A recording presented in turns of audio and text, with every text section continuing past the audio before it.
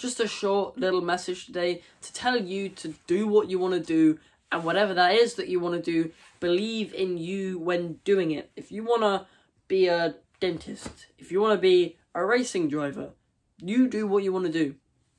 No one else can really judge you on that unless you say you want to be a murderer. Then that's going to be a bit weird, and conversations are probably going to have to take place. But when it's civilized and sane, just don't listen to anyone else when they try to put you down on the things that you're doing. If someone was saying, "Oh, you should stay in school or whatever and study more," but school isn't necessarily the biggest priority of your life and you want to do something that's maybe a bit more sporty so you would like go train in the gym or you go train on the field or something perfectly fine and no one can really tell you otherwise.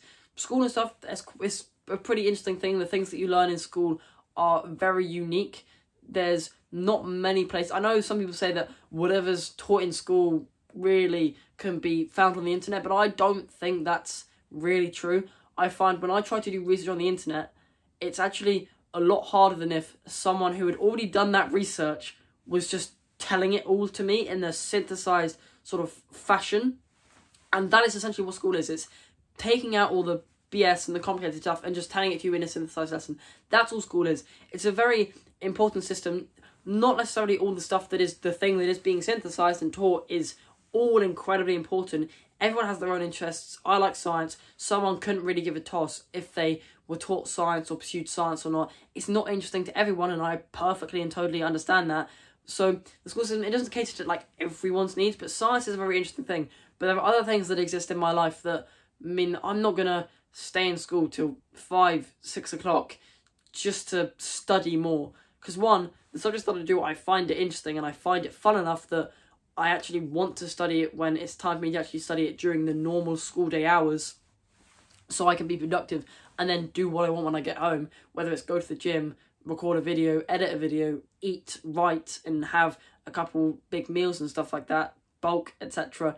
Uh, you know, you, you know what I mean? No one is right to tell you, no one is objectively correct to tell you that you can or can't do something that is both the options are sane. Both the options are perfectly acceptable when it comes to legal things. Um, just do what you want to do.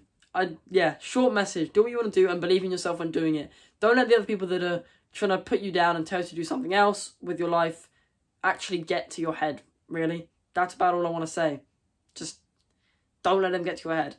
I can't think of any methods off the top of my head to actually help you do that, but just try to repeat the message in your own head to block their message out that this is what I want to do. I believe myself when doing it. And just literally repeat it, repeat it, repeat it. If someone's yelling at you, telling you otherwise, just say and try to block it out. Because if they're telling you to do something else, I doubt there's going to be any useful advice in that message that you could actually take. Like sometimes there's going to be a message that exists public speaking wise. You would hear a speech. Half it you might disagree with, but half it could be actually really useful life advice or something.